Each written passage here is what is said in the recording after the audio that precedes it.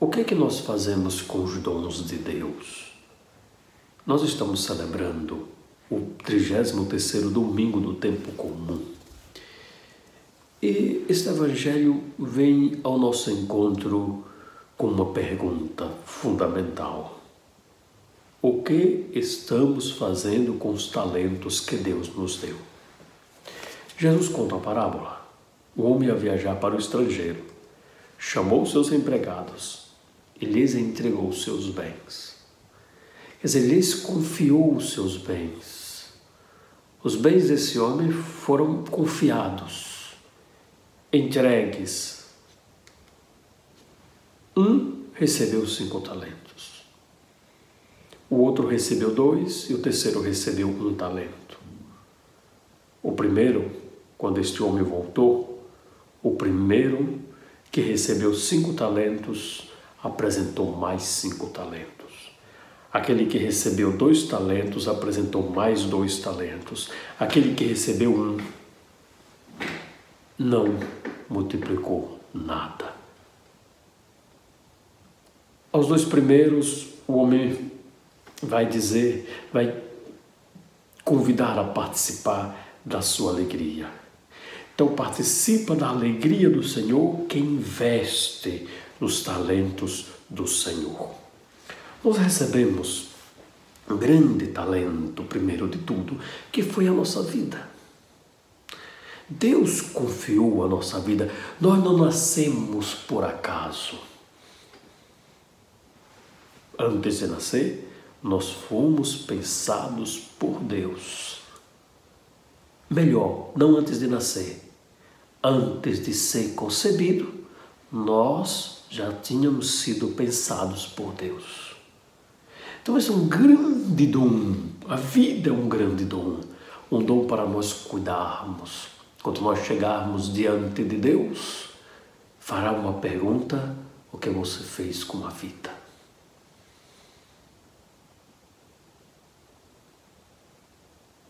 Amou muito ou escondeu o seu amor?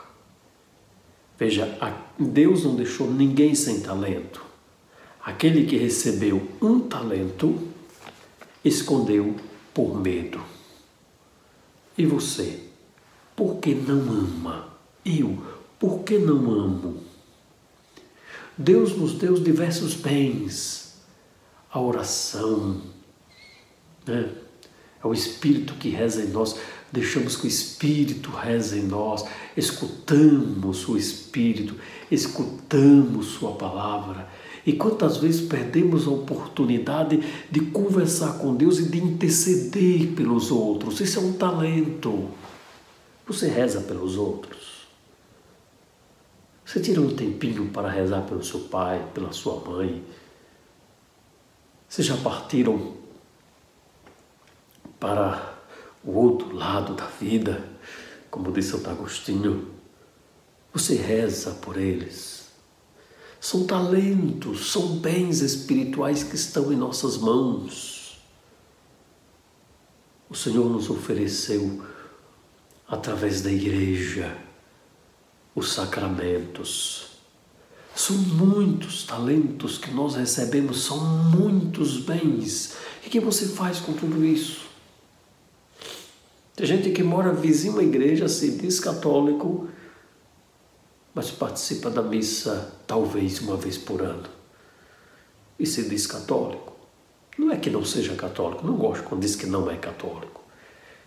Mas é que seu nível de conversão está muito pouco. Né?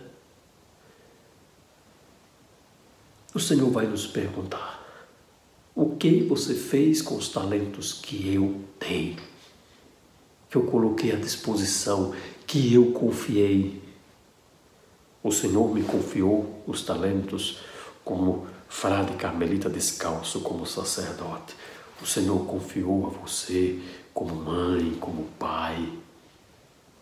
Tem os seus filhos que devem administrar. O pai deve ensinar o filho a administrar a própria vida e não dizer administre a sua vida. Há um momento que sim, mas logo no início, que nada sabe, já quer ter a última palavra dentro de casa. Então, o que, que você está fazendo de todos esses bens que o Senhor deu para você? Então, a pergunta fundamental que você deve fazer hoje diante de Deus, que chegará um dia que não tem mais como voltar atrás. Hoje aqui não temos como voltar atrás no sentido de que o que já fizemos, fizemos. Mas temos a oportunidade de fazer diferente a partir de agora. Mas quando chegar diante de Deus, não tem mais essa oportunidade que é que eu vou fazer a partir de agora. É uma hora definitiva. Não tem mais tempo, não tem mais hora. É o momento em que o Senhor perguntará e você ou eu podemos dizer: ah, por medo, por ódio, por vingança.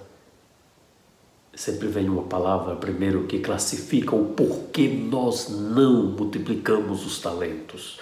Por preguiça, por inveja. E assim vai. Então não deixe que os vícios corroam os talentos que o Senhor deu para você. Nós estamos nos aproximando da, da, do tempo do advento. Essas perguntas, elas vêm. É o exame de consciência preparatório, uma celebração litúrgica, preparando já para o advento. Porque o Senhor voltará, não sabemos o dia, não sabemos a hora, e Ele voltará nós nos encontraremos com Ele, prestaremos conta.